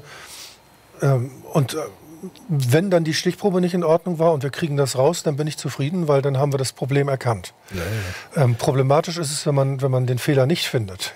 Ja, Aber da, genau darum machen wir es. Ja? Also Sie, Sie, äh, Sie messen das, Sie merken plötzlich, Moment mal, also gestern ist nicht irgendwie der Skandal rauszukommen, dass der Kanzlerkandidat X äh, nachts rosa Kaninchen quält. Es ist nichts passiert. Trotzdem haben wir ein völlig anderes Ergebnis. Was ist da los? Und dann, dann beginnt die Suche. Dann muss, müsste man natürlich gucken. Ja. Ich erinnere mich an einen Fall, wo wir das hatten. Das war 2005. Ähm, hm. Und da haben wir den Fehler nicht gefunden. Ah, ja. ähm, es hat sich zum Glück nicht wiederholt. Ich könnte darüber spekulieren, was da los war, aber es hat dann in der Tat nicht zu methodischen Konsequenzen geführt was unbefriedigend ist. Sie haben ja in einer früheren Veröffentlichung, die Sie mir ja freundlicherweise zugestellt haben, äh, gesagt, dass bei der Wahl 2017 die Wahlprognosen relativ große Fehler aufgewiesen haben und dass das natürlich wenig befriedigend ist. Äh, gibt es da irgendwie eine nachträgliche Erklärung, warum es 2017 zu relativ großen Divergenzen gekommen ist? Ja, ähm, da gibt es zumindest eine, eine, starke Wahrscheinlichkeit. Da hatten wir eine, eine Dynamik, die anders als dieses Mal sich fortsetzte. Also wir haben hier den, ich habe es Ihnen eben gezeigt, wir haben diesen Aufstieg der SPD. Mhm. Der endet aber bei der vorletzten Umfrage und, und dann bleibt es sozusagen auf dem Niveau. Mhm. Wir haben 2017 äh, zwei Tendenzen gehabt und zwar seit August. Also vor der, vor der Wahl hat man eine höhere Schlagzahl, da macht man es dann so ungefähr wöchentlich.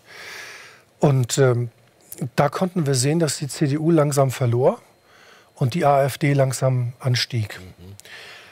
Und äh, wenn man sozusagen die, die Messpunkte nahm, ich, ich mache das mal optisch, ja, CDU, ich, der Abstand ist größer, ja, CDU, AfD, und die gehen ja, immer so weiter.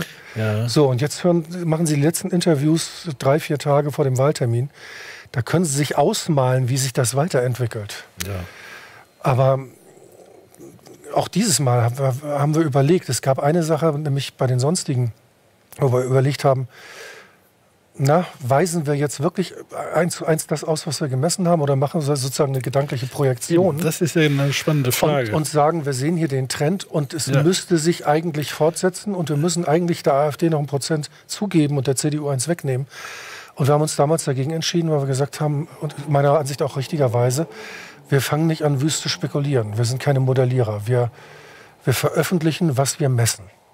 Gut, das ist aber eine und, sehr klare Position, die Sie vertreten, dass mhm. Sie sagen, wir wollen keine Prognose machen für die Wahl, sondern wir wollen einfach den Status ja. quo, so wie wir ihn gesehen haben, publizieren. Naja, wir, wir nennen es schon Prognose und das heißt auch nicht, dass wir, dass wir überhaupt nicht eingreifen. Ja, es, wie gesagt, die Gewichtung kann zum beispielsweise einiges bewirken. Also mhm. es muss nur in den Daten selbst drin sein. Ich kann nicht mhm. sagen, mhm.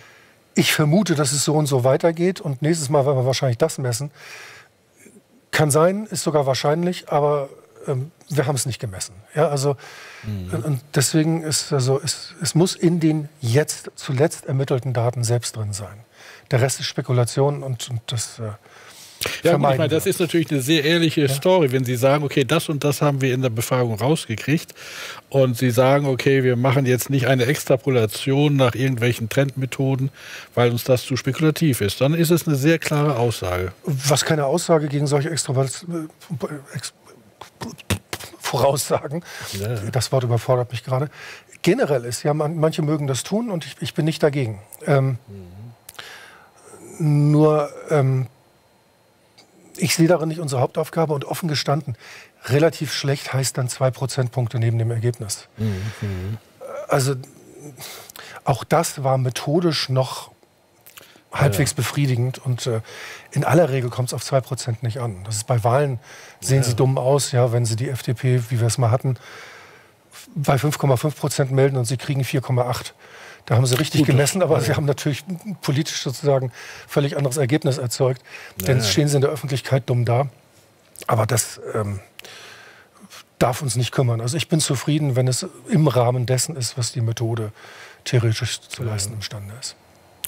Kann man denn auch mal, mal testen, äh, einmal mit 1000 Leuten und mal ein anderes Mal mit 2000 Leuten, wie groß die Divergenzen sind. Bewegt sich das in dem, was wir statistisch erwarten würden dann bei solchen ja. Vergleichen? Das ist, ähm, das ist, das ist ja statistisch leicht, leicht auszurechnen. Ja, eben. Ne, rein theoretisch okay. ist dann die, die sogenannte Fehlertoleranz, ich sage immer, mhm. wie ein Fotoapparat, den man nie ganz scharf stellen kann. Ja, diese ja. Unschärfe, die man da hat die beträgt bei 1000 Befragten zwei Prozentpunkte oder zweieinhalb irgendwie, je nachdem auch was rauskommt.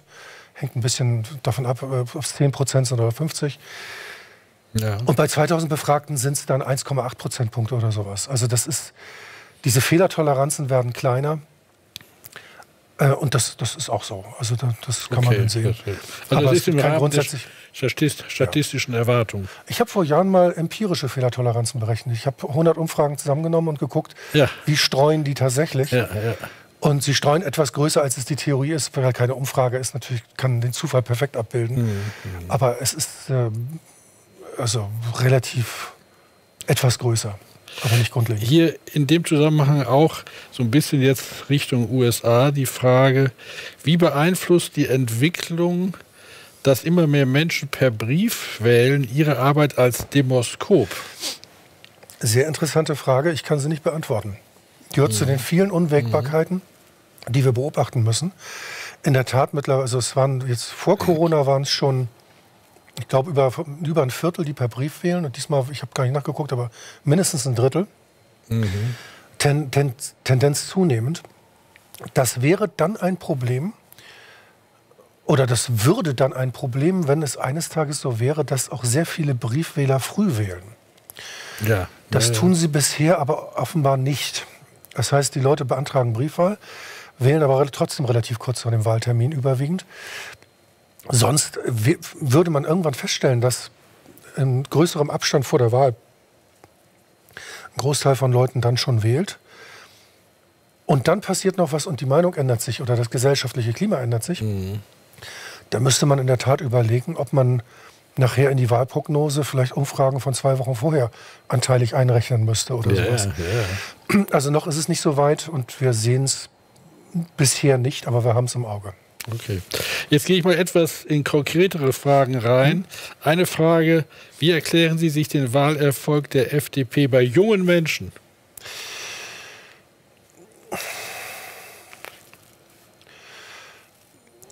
Erstens würde ich da gerne noch mal die repräsentative Wahlstatistik sehen.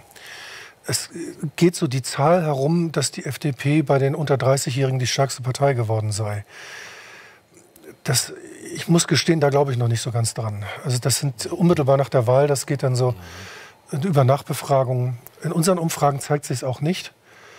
Also ich wäre mit der Aussage ein bisschen vorsichtig. Okay, ähm, okay. Aber sie ist in der Tat in der jungen Generation relativ stark.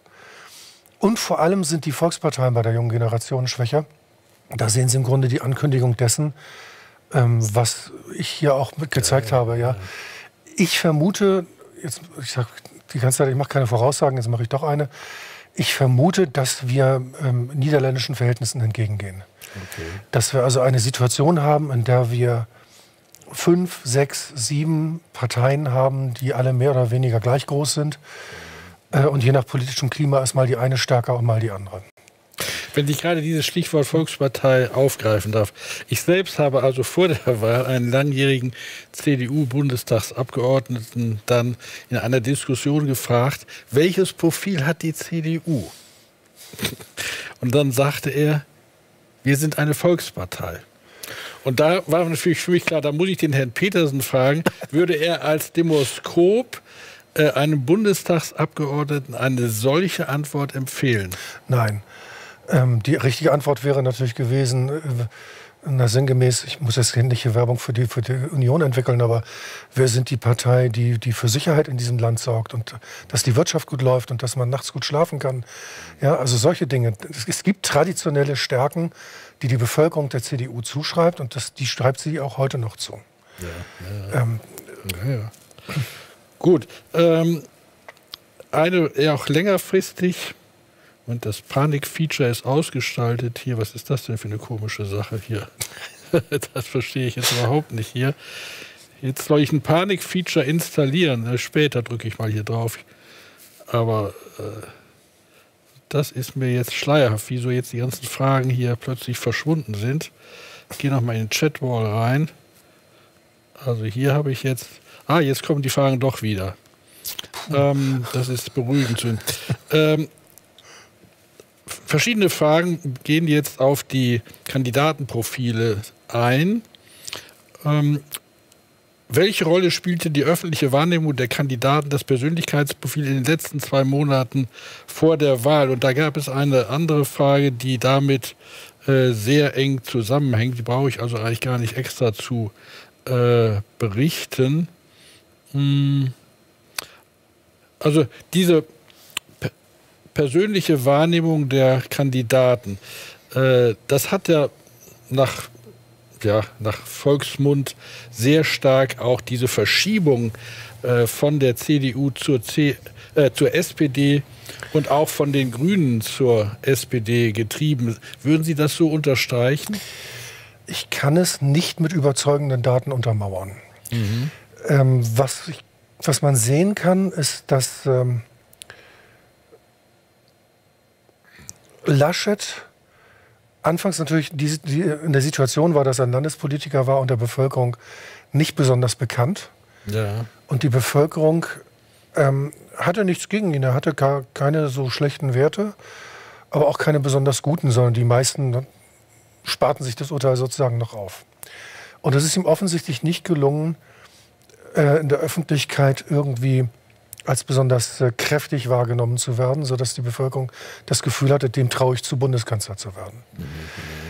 Und ich habe es ich gezeigt, auch die Werte der anderen, also Frau Baerbock sowieso nicht, aber auch Scholz hatte ja keine so, so riesig überzeugenden Werte. Ja, aber der immerhin war, die, war der Bevölkerung etwas vertrauter. Naja, okay. Ja, und äh, gab ihnen anscheinend eher das Gefühl, dass man ihm das, das, Regieren zutraut, als es Laschet äh, ja. konnte.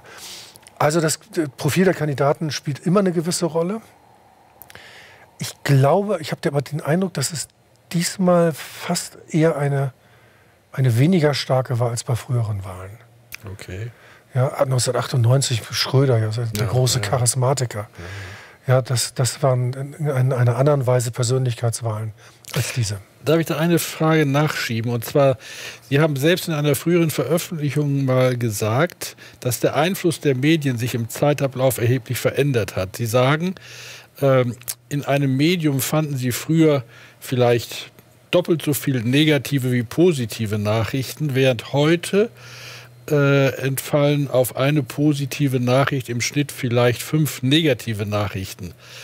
Man würde sich ja vorstellen, also ich habe das auch selbst gesehen in den Nachrichten, wenn diese Asymmetrie in positiv und negativ sich so verstärkt, dann trifft sie natürlich vielleicht besonders einen Armin Laschet, der immer wieder im Fernsehen gezeigt wurde, mit seinem äh, witzigen Grinsen da im Ahrtal.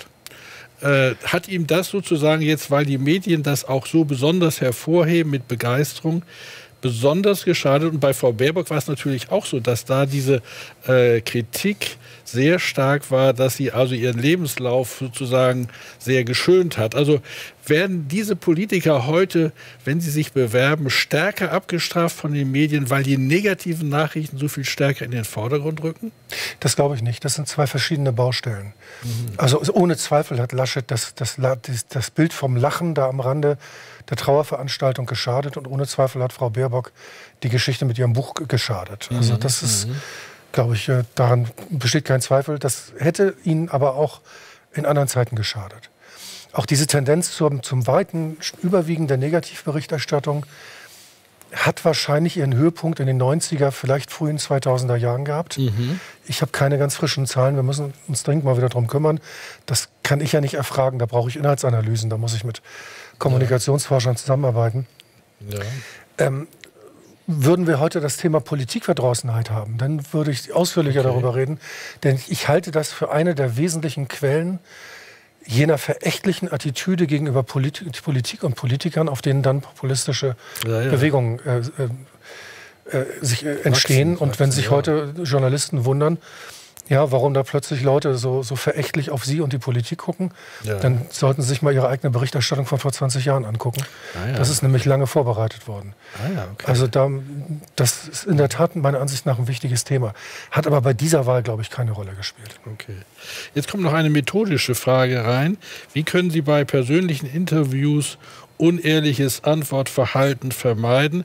Ich will es mal ergänzen, vermeiden oder äh, erkennen, sodass Sie dann möglicherweise äh, da eine Korrektur einbauen können. Kann man das, äh, wenn man dem Befragten oder der Befragten persönlich gegenüber sitzt, äh, relativ gut managen? Also glücklicherweise, das wird oft vermutet, glücklicherweise lügen die Befragten viel weniger, als, als man annehmen möchte. Und zwar aus einem ganz einfachen Grund, dass Lügen nämlich anstrengend ist. Okay. Äh, Sie, Sie stellen ja nicht nur eine Frage, sondern Sie stellen viele Fragen. Okay. Und wenn Sie einmal irgendwie einen Blödsinn erzählt haben, dann müssen Sie dabei bleiben. Das ah, ja. ist kognitiv wahnsinnig anstrengend. Also ah, ja. es gibt bestimmte Themen, bestimmte heikle Themen, da müssen Sie mit einem gewissen Grad unehrliche Antworten rechnen. Der Klassiker ist immer der Alkoholkonsum. Ja. Also Sie kriegen die Angaben der Befragten über ihren Alkoholkonsum nicht mit den Absatzzahlen der Brauereien in Einklang. Okay. Ähm, okay. Aber das sind im Grunde Ausnahmefälle. Ja. Selbst auch sowas wie Wahlen, auch zum Teil ziemlich intime private Geschichten, kann man glücklicherweise relativ gut abfragen, ohne dass die Leute einem, einem sozusagen den. Schoß voll lügen, weil, wie gesagt, das Lügen anstrengend ist. Und äh, glücklicherweise selbst wenn, wenn es da einen gewissen Anteil gibt, ja, wenn, wenn Ihnen mhm. 10% Leute irgendeinen Blödsinn erzählen, erzählen sie Ihnen erstens nicht immer den gleichen Blödsinn. Ja, ja. Und zweitens kommt es auf ein paar Prozentpunkte in der Regel nicht an, sondern sie wollen verschiedene Gruppen erkennen und bilden und deren Verhalten beobachten. Das heißt, eine gewisse Unschärfe kann man einkalkulieren. Es gibt auch Lügentests. Wir haben, gelegentlich haben wir schon mal mhm. nach Dingen gefragt, die es nicht gibt und sowas. Ja, ja. ja also die Bekanntheit des Ortes Fuhlstein liegt bei ungefähr 5 Prozent, okay. den es nicht gibt. Ähm, ja, wir nennen das die Nonsensgrenze. Sie haben immer so ungefähr 5 Prozent der Bevölkerung, die eine Meinung zu allem äußern. Ähm, das beeinflusst aber glücklicherweise die Gesamtergebnisse nicht nennenswert. Na gut, wenn Sie sozusagen eine gaußsche Fehlerkurve haben und der Mittelwert liegt etwa bei null, dann stört Sie es natürlich insgesamt relativ wenig. Genau. Okay. Äh, die andere Frage hier, die auch kommt, ähm, ist eher eine auch längerfristige Frage. Gibt es irgendwie klare Befunde dazu, wenn eine Partei vor der Wahl irgendetwas verspricht und hinterher das dann doch nicht hält? Äh, dass sie dann doch bei der folgenden Wahl dafür abgestraft wird? Kann ich nicht sehen. Äh, die Einstellung sozusagen zu äh, Wahlversprechen und dem Bruch von Wahlversprechen scheint mir eher eine verbreitete Attitüde zu sein, als etwas, was sozusagen eine Spiegelung in der Realität hat. Ich habe vor einigen Jahren, habe ich gerade eine Untersuchung zu dem Thema gemacht. Da haben wir bei der vorletzten Bundesregierung noch kurz, kurz vor 2017, glaube ich, war das, haben wir gegen Ende der Legislaturperiode den Befragten 20 Wahlversprechen vorgeführt und haben gefragt, was glauben Sie, welche dieser Wahlversprechen wurden gehalten? Und ursprünglich hatten wir geplant, dass wir so einen Teil gehaltener und geteilter nicht gehaltener vorführen wollen. Mhm. Ähm, das konnten wir dann nicht, weil wir praktisch kein Wahlversprechen fanden, das die Politik nicht umgesetzt hatte. Ah, ja. Die haben sich nämlich eifrigst bemüht, weil, weil Regierungen kennen ja diese Anwürfe. Ja, die versprechen das Blaue vom Himmel und dann machen sie ja doch, was sie wollen. Und um sich dem nicht auszusetzen, reißen sie sich schier die Beine aus, um, um ihre Wahlversprechen auch wirklich äh, zu verwirklichen. Und ich glaube, es gab ein einziges, was nicht verwirklicht wurde. Da gab es aber gute verständliche Gründe dafür. Also kurzum, diese Wahlversprechen wurden alle gehalten. Und da haben wir abgefragt, welche wurden gehalten. Und verkürzte Antwort der Bevölkerung, also wenn nicht Mehrheiten, dann doch aber erhebliche Minderheiten sagten bei all diesen Punkten, nö, das haben sie nicht gehalten. Mhm. Also ähm, von der Realität lässt sich die Bevölkerung ja. oft nicht besonders beeindrucken. Ich meine, wir haben ja jetzt eine sehr spannende Phase, äh, weil ja der Klimawandel bis 2030 so und so viel Prozent CO2 einsparen soll. Und äh, viele sagen, es geht überhaupt nicht. Und äh, von daher hat man ja fast das Gefühl, als ob hier die Bundesregierung fast mit Sicherheit in eine Situation reinlaufen muss, wo sie diese Versprechen einfach nicht umsetzen kann. Und dann wird natürlich die Frage sein, muss sie dann mit einer Abstrafung rechnen oder sagen die Leute, naja gut, das war einfach äh, zu hoch gehängt, das Ziel? Also das werden wir sehen. Ja, also klar, je, je vollmundiger ich in, eine, in einen Wahlkampf reingehe, je höher und hehrer die Versprechungen sind.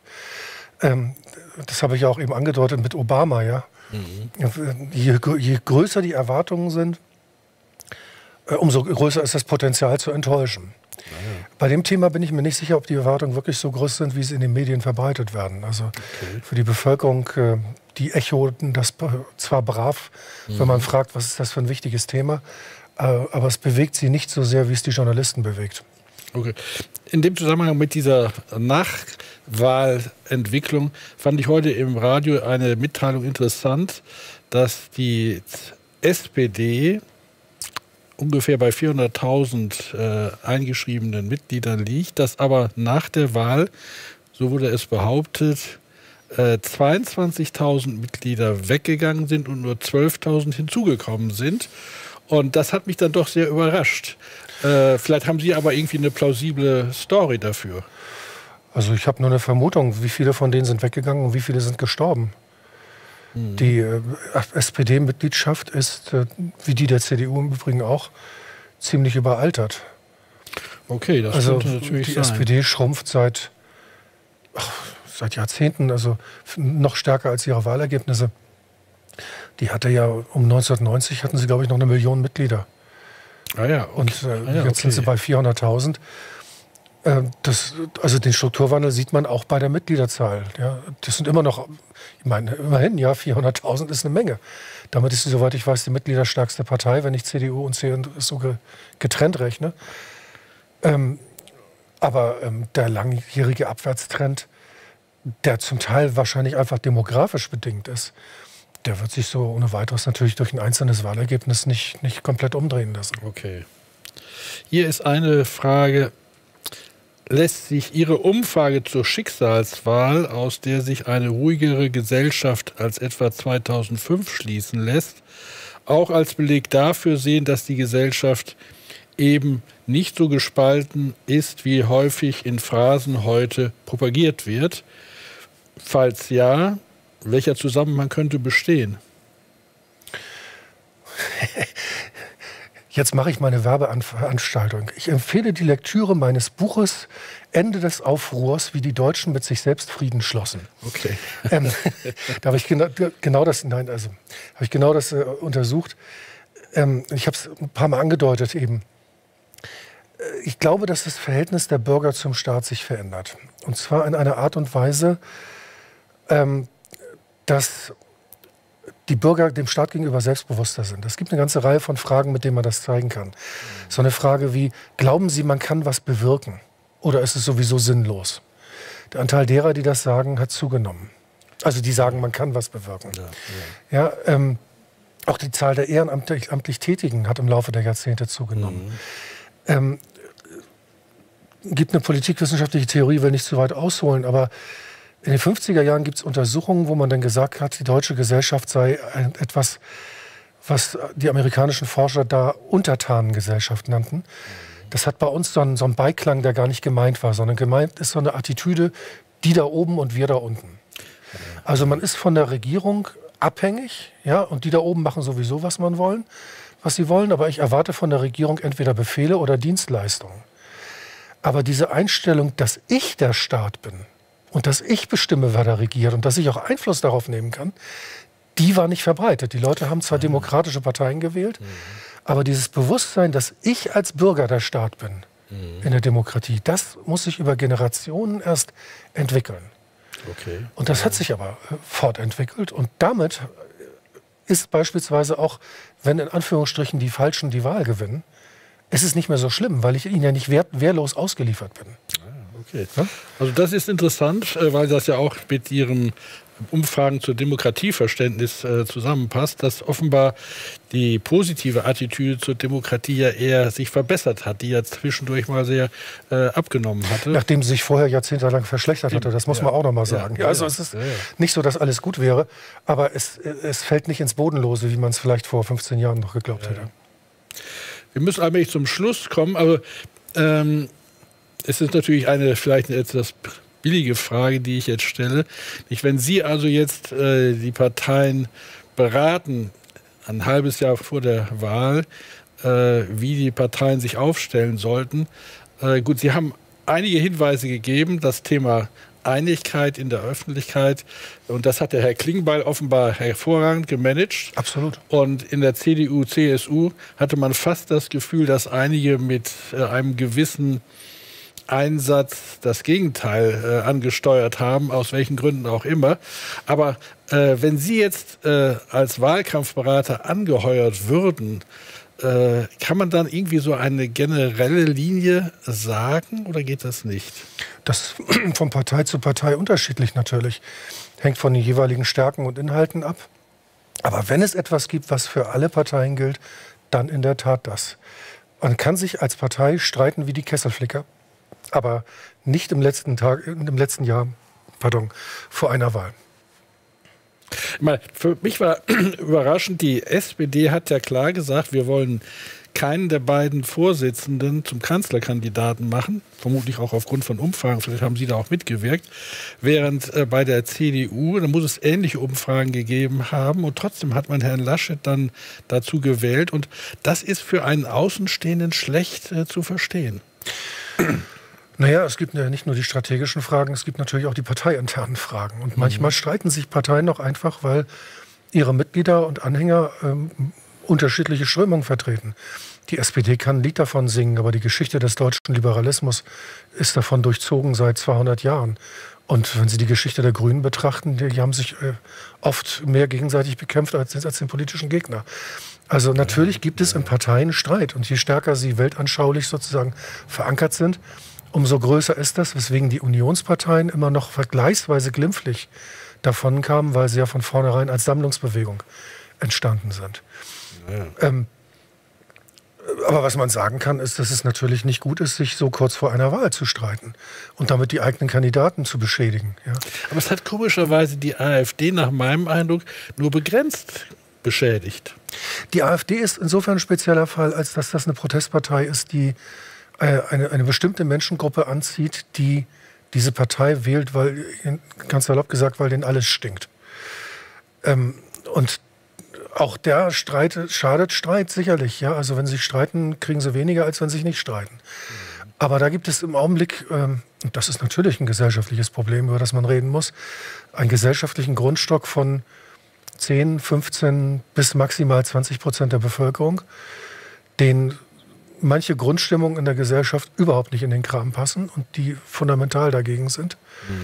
Und äh, die auch anfällig sind für Verschwörungstheorien und, äh, und populistische ähm, Kampagnen. Und das ist ein Feld, das die AfD sehr geschickt bespielt hat, trotz aller internen Konflikte. Es ist 43. Äh, wir müssen hier leider Schluss machen. Äh, ich nehme mir aber die Freiheit, Sie nochmal im Sommer in einen, zu einem Abendessen einzuladen und Sie mit weiteren Fragen zu löchern, wenn Sie das dann akzeptieren. Sehr gerne. Also insofern, das war sehr schön und ich bin auch sehr dankbar allen, die hier noch im Chat Fragen gestellt haben. Das war also sehr hilfreich und ich hoffe, dass äh, die meisten Fragen auch geklärt werden konnten. Dass immer gewisse Fragen offen bleiben, liegt in der Natur der Sache. Es wäre ja traurig, wenn es nicht so wäre, dann hätten Sie nichts mehr zu tun.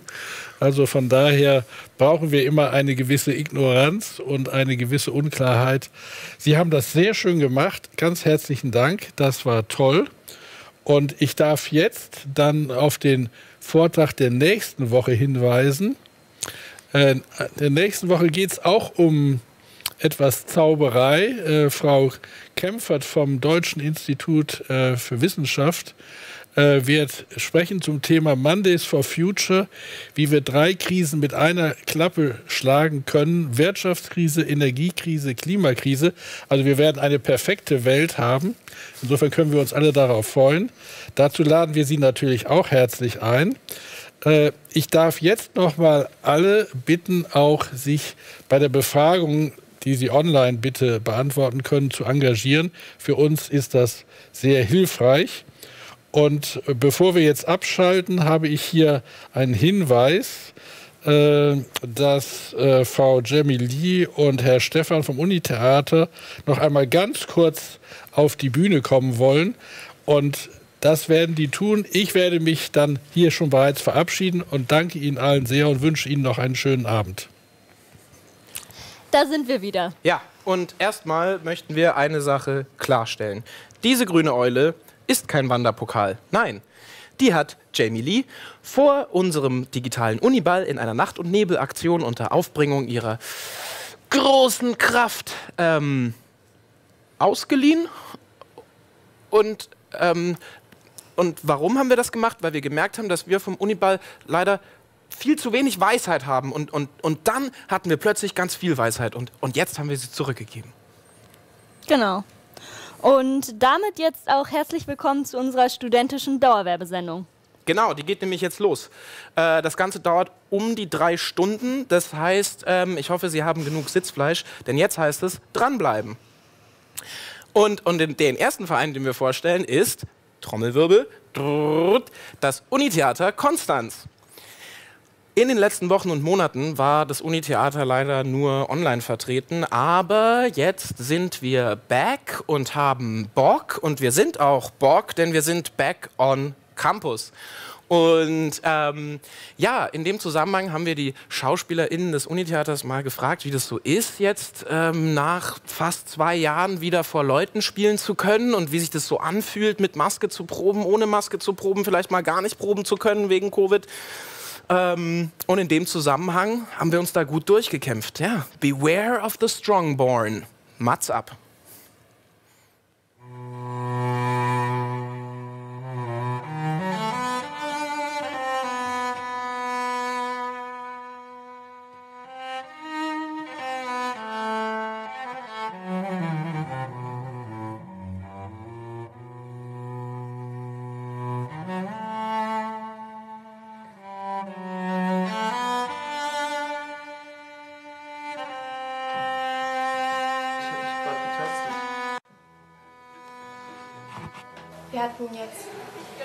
Zwei, drei Wochen Proben. Also am Anfang war ich mir ein bisschen unsicher, wie die Theatergruppe so drauf sein wird, weil es waren so viele verschiedene Personen, aber man wird hier so schnell herzlich aufgenommen. Also die ersten Proben liefen unterschiedlich gut. Es ist mal wieder ein gutes Gefühl, äh, seit äh, drei, vier Jahren Theater zu spielen. Ich muss ehrlich sagen, ein paar von uns haben es so gut drauf, dass ich einen richtigen Hass auf die bekomme. Ich hatte am Anfang gar keine Ahnung. Ich, ich habe fünf Sätze bekommen, die habe ich auswendig gelernt und dachte ich, ich komme einfach rein und lese die vor und dann ist alles gut.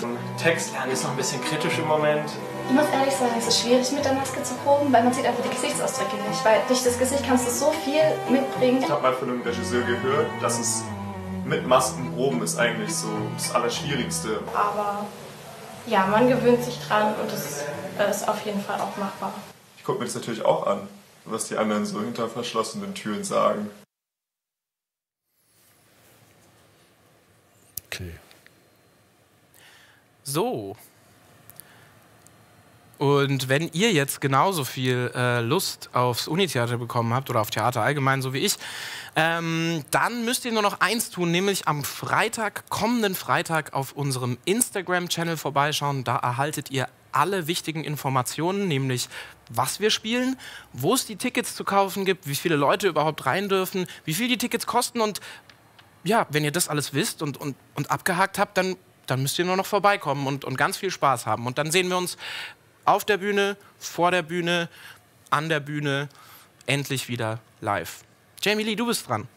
Genau, und um sich die Wartezeit bis dahin ein bisschen zu verkürzen, kann man sich auch zum Beispiel eine Folge des Uniradios anhören, denn die bereichern das Unileben alle zwei Wochen mit lustigen und spannenden Rubriken und führen so durch den Uni-Alltag.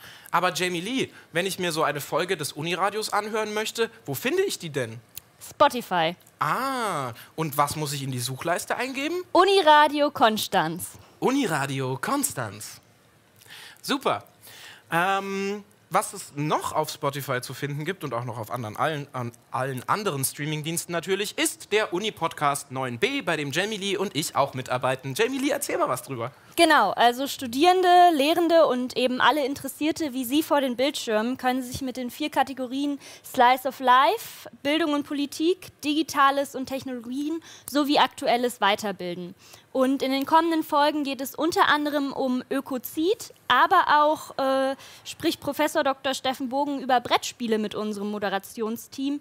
Denn das Komitee des Spiel des Jahres hat zum Beispiel in Konstanz seinen Sitz. Ja, das wusste ich ja gar nicht. Ich schon, denn ich arbeite in der Redaktion mit. Super. In, an der Stelle gehen natürlich auch liebe Grüße an Roland Fischer raus. Super Chef. Möchtest du noch was sagen? Nee. Ja, dann sind wir jetzt am Ende. Ha, war ein Witz, geht doch nicht drei Stunden. Äh, ich möchte mich bedanken bei Jamie Lee. Dankeschön. Ähm, möchtest du mir auch danken? Nein. Okay. Dann bei A2R, bei Marc, natürlich bei Herrn Franke und bei Herrn Petersen. Vielen Dank ans Studium Generale. Vielen Dank an meine Mama. Und Vielen Dank damit an meinen sind wir Papa. fertig. Ich wollte dann noch meinem Hund danken, meinen beiden Mitbewohnerinnen ähm, und dann noch ähm, ähm, und danke, danke. Naja. Jetzt ist, glaube ich, hier.